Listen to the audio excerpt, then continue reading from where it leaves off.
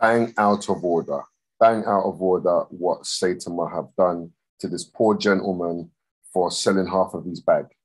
Bang out of order. Guys, this is Spin, World of Crypto. I'm just going to jump straight into this because I think it's bang out of order. And in this space of DeFi, I don't think anybody should have to go through what they have made this gentleman go through. Yeah. Now, this is to do with the Saitama devs releasing, yeah, vital information to social media, YouTubers, to whoever, to ridicule a person for selling half of these Saitama holdings to diversify to diversify his portfolio and to jump into other projects. Bang out of order. Firstly, we are all in more than one project. We are all in one more than one project. We don't need to stay in one project. We're not coated to one project. It's bang out of order what they've done. I'm going to just give you a little a little flavor of this of this uh, YouTube of this AMA that had taken place with Terareum and the doctor answering this information. Bang out of order. Yeah, we're going to touch base on this after. Let me just share my screen and show you guys what has been happening because, again, guys, honestly, I, I don't think that anybody should have to go through what this they have made this gentleman go through. You don't have to reveal your your wallet address to no one if you don't want to. Like this is what DeFi is about. DeFi is about being free to do what it is that as an investor you want to do, not being ridiculed or being targeted by some cultist type of no. It's it's it's bang out of order. So we're gonna touch base and big up Ozzy Austin. I'm gonna play his video, yeah, where he's just he lets the AMA from the Twitter. So let me just play it. Let me just play it, guys that was held today over the part where he actually just explains what what happened. You own 108 wallets by yourself. Yes, I do. Meaning that you own uh, how much inside the pre-sale? Uh, I bought it during the pre-sale. So there, you know, so right there, he says, you know, point blank. I think it caught everyone off guard that yeah, I own 108. And I mean, you could see there was sort of just silence there because I think everyone was like, "Well, wow, quickly, guys, how does how do, how is people able to directly target one person? Imagine there's there's wallet addresses, there's no email, there's no nothing attached to any wallet address. How is someone able to specifically target one person and ask them if they own 108 of these wallets? Yeah, that's because some vital information has been leaked from the Saitama devs, yeah, to some of you know some of the the social media people in Saitama. You know, a gentleman by the name of Faltron has managed to get this information, and this has come directly from the devs. No one else would have this information. Nobody else would have this information. No one would have Doctor, uh, what's his name? Pra, let's have a look. Praveen. Yeah, no one would have Dr. Praveen's number, his wallet number, nothing. This has come from the Saitama devs. Why has it come from the Saitama devs? More than likely because they want to damage the new project that Dr. Pro, uh, Praveen is now in. Ultimately, he actually came out and said it. I think that's what everyone was sort of waiting to hear.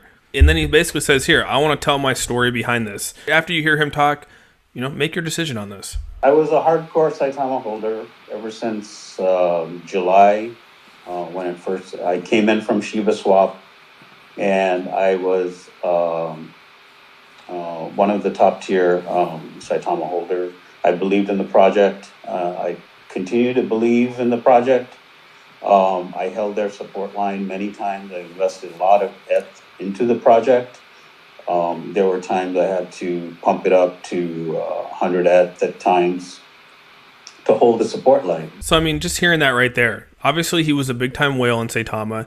He, he cares about the project even to the point where he every developer knew who he was.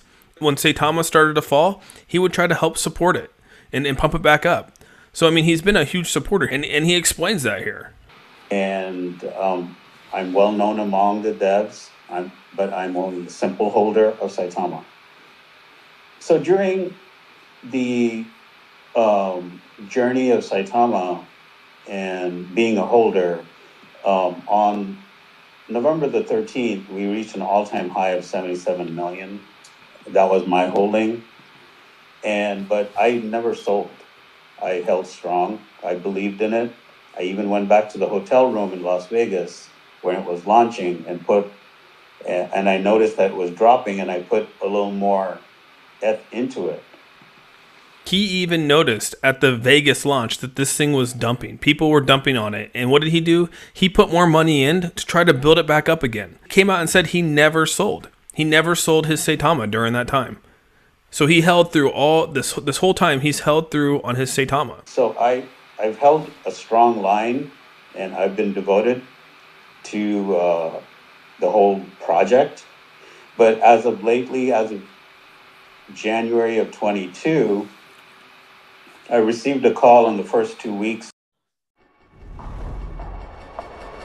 So, guys, he's saying he received it. Listen to this Throughout part. This history. part, this part is really So, important. uh, this part is really important because the way that he the way that he says that he had a call from the Saitama dev, and he, he's being he's being polite about how that conversation went. Yeah, he's being polite about how this conversation went, to, because it was to the point where he he was he gave the Saitama dev his wallet address so that they can check to see whether he was actual person who was actually selling uh, selling the tokens or not. He told them that he wasn't selling the tokens. They was assuming that it was him, and he's felt the need to actually show them his wallet address. excuse me, to to prove that it weren't him dumping on these coins. Yeah, let's listen to it. um, January from one of the dev members, and basically asking me um, whether I'm selling my Saitama, and my response was no, and I revealed um, my um, wallet number in that context, saying that I was above or below that particular person who's selling, and you're mis um, you're you were mistaking me for somebody else and that's not cool after you know so many years so many months of support of the saitama program. And i continue to support So right there, you had a Saitama developer reach out to him and ask if he was the one that was selling. And in a way, it seemed like it was more accusing him of selling because it got to the point where he had to actually then give his wallet number to this developer to show him that he wasn't the one that was actually selling. It was actually another person's wallet, the one above his, that was selling. And so he gave up his wallet number. He actually, right then and there, they all knew who he was and, and where his money was. He said it wasn't cool that he had to actually show that, but he did it out of good faith. He did it to show that he wasn't dumping on the project and that he was supporting the project and he had been supporting it from day one. And so that's where he stood with this whole thing. However, support it So can you imagine? Can you imagine being, you know, uh, a, a holder and a supporter of the project, supporting supporting the project even when it was dipping? The guy had seventy seven million. Yeah, his tokens went up to seventy seven million, and he could have pulled. He could have been taking loads of profits, and he never. He supported it all the way back down to seven million. His his holdings went from seventy seven million to seven million. Yeah, that is that is a real supporter of the project. That is definitely a real supporter of the project. So to have the, the, the devs of that project come accusing you, accusing you of selling your bag or doing whatever not, after all of that support, after all of that support, how dare they? How dare they have the cheek to even ask him whether he sold his bag or not? Yeah, and even if he did sell his bag, after all of that support, how dare they? How double dare they? Bang out of order bang out of order. Yeah, in this DeFi space, doesn't matter what you do with your money. Doesn't matter if you're rich, if you're not rich, if you're well, if you're not. It doesn't matter. These people have done what they have had to do to get to this, to get to the stage that they're at. How dare they bang out of order, Saitama devs? and in february and just four weeks ago um, i got this opportunity. I, w- I do my own research as you know um, and i decided i decided to my holding went from 77 million to almost 6.5 to 7 million. So i lost 92% of my value he says that it went from $77 million at the all time high down to 6.5 to 7 million. And he lost over 92% of his value. I mean, that's incredible to think that you've lost that much. And again, he said that he held strong through this whole entire thing. Of my holding, but I held strong, supporting them. And, but, you know, sometimes your get emotions get in the way, and business is business. At the end of the day, guys, he had a right at that point for his emotions to get in his way because the devs have come accusing him, yeah, of selling his bag and all of this type of stuff. When if he wants to sell his bag, he can sell his bag. Like, who cares? Why you like that's some cultist type stuff going on. And Saitama shouldn't be doing that. They shouldn't be doing that whatsoever. And for the devs to, to give out his wallet address to people that they know is going to attack Dr. Praveen and the new project that he's jumping onto, like it's bang out of order. That's a breach of privacy. That's that's some some deep levels of breaches going on right now, which in the crypto DeFi space, when we've escaped all of that, we've escaped all of that. Whose is this and who owns that, and we don't care. Do you get what I'm saying? We're all even in the eyes of in the eyes of God. Yeah. So bang out of order. Let's let's just finish this bit up there quickly. I decided, hey, I need to diversify. So I left 50% of my Saitama stake in Saitama, which I still support. I'm a holder. And I took half of my stake. And- so can you imagine? Yeah, he took 50% of his holdings and so he's still he's still got 50% of his money in Saitama, but the devs still done what it is that they've done. They still went and revealed his wallet address and confirmed the wallet address of who it wasn't bang out of order. This is bang out of order. Bang out of order. And basically, uh, by that time, I was on the board of this just recently on February 10th. I joined this board. And the Saitama team knows very well because I did inform them with all due respect. And uh, that I moved to this uh, new project. He got onto the board of this project on February 10th. So he was late to the pre-sales of this whole thing. The pre-sale airdrops, right? So he couldn't get through he couldn't get in through the airdrop, and so he came in through the pre-sales. And that's where these 108 wallets came from. However, like he said, you know, he had to diversify. You can't knock the guy for trying to diversify in this space. And yeah, don't get me wrong. Uh, there's that 108 wallets is a ton of wallets to have. Yep. So, so there you have it, guys. Yeah, it is on Twitter, so you can actually, for those who are invested in whether it's Saitama or Terareum, it's on Twitter. You can get all of that information. But the guy, he didn't hide any of the information. He didn't hide anything. He just, he just said, yes, it was me. Yes, I do have 108 wallets. Yeah, and I did, you know, get in via the pre-sale. But so what? So what? Like, if the pre-sale was for, let's just say the pre-sale was for for, for, for normal investors like you and me. Yeah, I invested 0.5 Ethereum into uh, Terareum, but let's just say that the maximum allocation per wallet was 0.1. Yeah, what would I have done? I would have went and got five wallets and put 0.1 in each wallet if that was the case, or whatever it to be. So you can't hate on someone for for you know using following the rules. Yep, one wallet, maximum 10. He went and created 108.